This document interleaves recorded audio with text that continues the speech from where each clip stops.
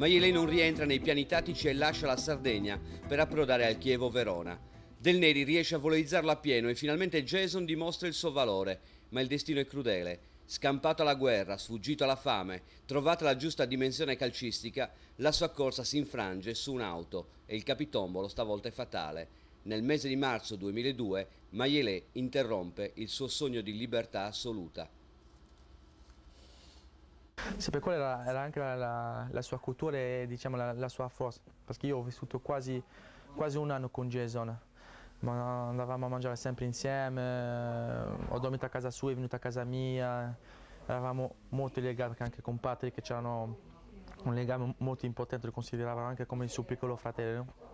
E lui aveva questa simpatia, questa, diciamo, questa libertà, anche se arrivava in ritardo in allenamento dopo mezz'ora, tutti erano incazzati, dicevano no ma devi pagare la mutua, devi fare così, lui rideva, eh, non c'è problema, era sempre rilassata, ok la pago, arrivo mezz'ora in ritardo, ogni tanto arrivava in ritardo e non è che si scusava perché non, non lo faceva apposta, ma stavamo facendo la partita e lui si buttava in campo così, senza riscaldamento, di messa dopo 10 minuti si accorgeva che, che, era in campo, ma dove stai arrivando? Eh, mi sono in ritardo, era, era così. E era, diciamo, era la, la, sua cultura, io me lo ricordo molto bene perché mi sono fatte tantissime risate anche su questo punto di vista lì.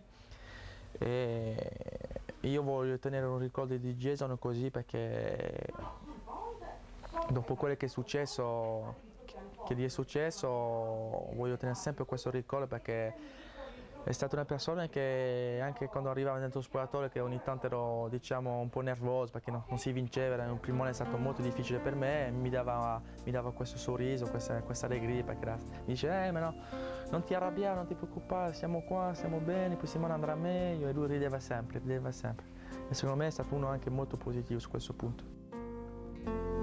Mio fratello che guardi il mondo somiglia a te. Mio fratello che guardi il cielo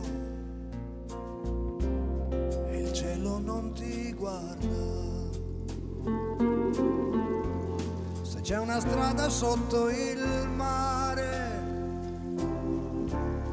prima o poi ci troverà.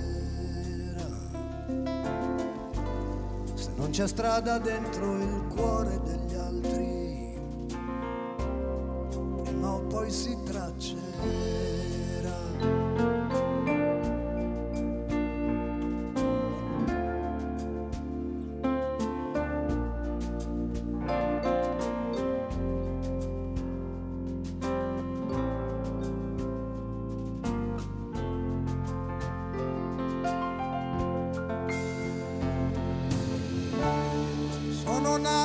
Lavorato in ogni paese e ho difeso con fatica la mia dignità.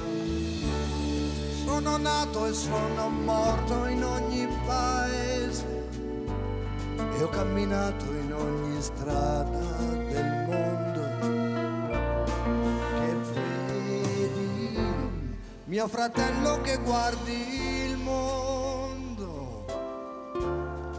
mondo non somiglia a te. Mio fratello che guardi il cielo e il cielo non ti guarda. Se c'è una strada sotto il mare, prima o poi ci troverà non c'è strada dentro il cuore degli altri, prima o poi si traccerà.